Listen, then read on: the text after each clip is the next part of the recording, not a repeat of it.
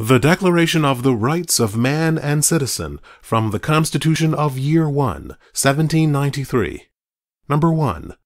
The aim of society is the common welfare. Government is instituted in order to guarantee to man the enjoyment of his natural and imprescriptible rights. Number 2.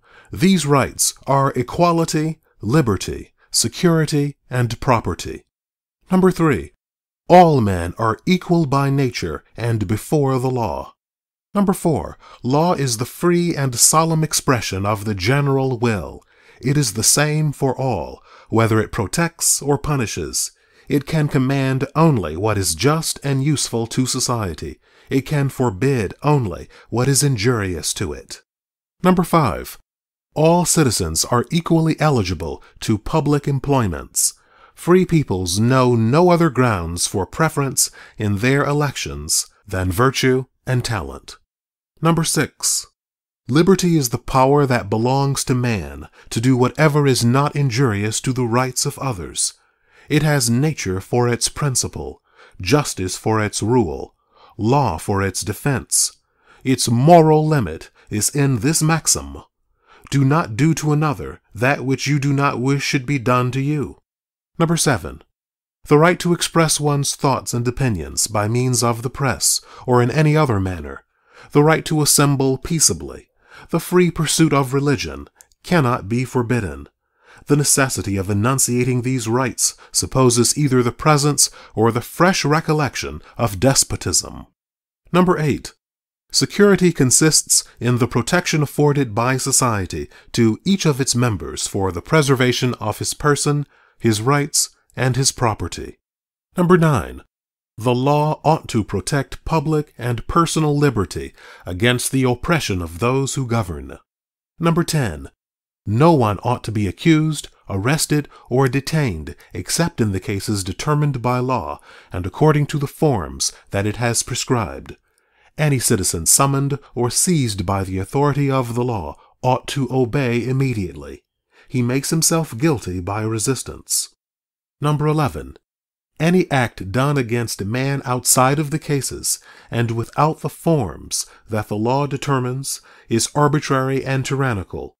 The one against whom it may be intended to be executed by violence has the right to repel it by force. Number 12. Those who may incite, expedite, subscribe to, execute, or cause to be executed arbitrary legal instruments are guilty and ought to be punished. Number 13. Every man being presumed innocent until he has been pronounced guilty, if it is thought indispensable to arrest him, all severity that may not be necessary to secure his person ought to be strictly repressed by law. Number 14. No one ought to be tried and punished except after having been heard or legally summoned, and except in virtue of a law promulgated prior to the offense. The law which would punish offenses committed before it existed would be a tyranny. The retroactive effect given to the law would be a crime. Number 15. The law ought to impose only penalties that are strictly and obviously necessary. The punishments ought to be proportionate to the offense and useful to society. Number 16. The right of property is that which belongs to every citizen to enjoy, and to dispose at his pleasure of his goods, income, and of the fruits of his labor and his skill. Number 17. No kind of labor, tillage, or commerce can be forbidden to the skill of the citizens. Number 18. Every man can contract his services and his time, but he cannot sell himself nor be sold. His person is not an alienable property. The law knows of no such thing as the status of servant. There can exist only a contract for services and compensation between the man who works and the one who employs him. Number 19. No one can be deprived of the least portion of his property without his consent, unless a legally established public necessity requires it, and upon condition of a just and prior compensation. Number 20. No tax can be imposed except for the general advantage.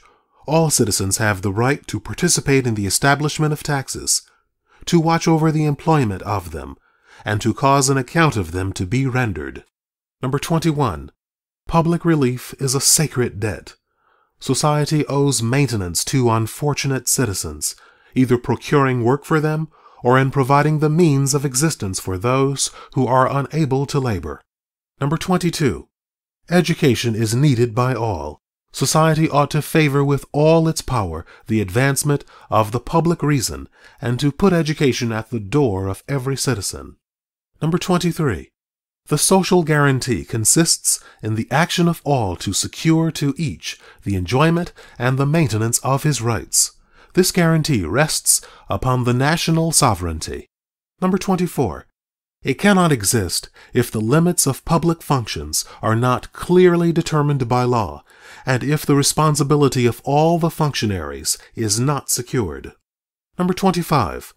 The sovereignty resides in the people. It is one and indivisible, imprescriptible, and inalienable. Number 26. No portion of the people can exercise the power of the entire people, but each section of the sovereign in assembly ought to enjoy the right to express its will with entire freedom. Number 27. Let any person who may usurp the sovereignty be instantly put to death by free men. Number 28. A people has always the right to review, to reform, and to alter its constitution, one generation cannot subject to its law the future generations. Number 29. Each citizen has an equal right to participate in the formation of the law and in the selection of his mandatories or his agents. Number 30. Public functions are necessarily temporary. They cannot be considered as distinctions or rewards, but as duties. Number 31. The offenses of the representatives of the people and of its agents ought never to go unpunished. No one has the right to claim for himself more inviolability than other citizens. Number 32. The right to present petitions to the depositories of the public authority cannot in any case be forbidden, suspended, nor limited. Number 33. Resistance to oppression is the consequence of the other rights of man. Number 34. There is oppression against the social body when a single one of its members is oppressed. There is oppression against each member when the social body is oppressed. Number 35. When the government violates the rights of the people, insurrection is for the people and for each portion of the people the most sacred of rights and the most indispensable of duties.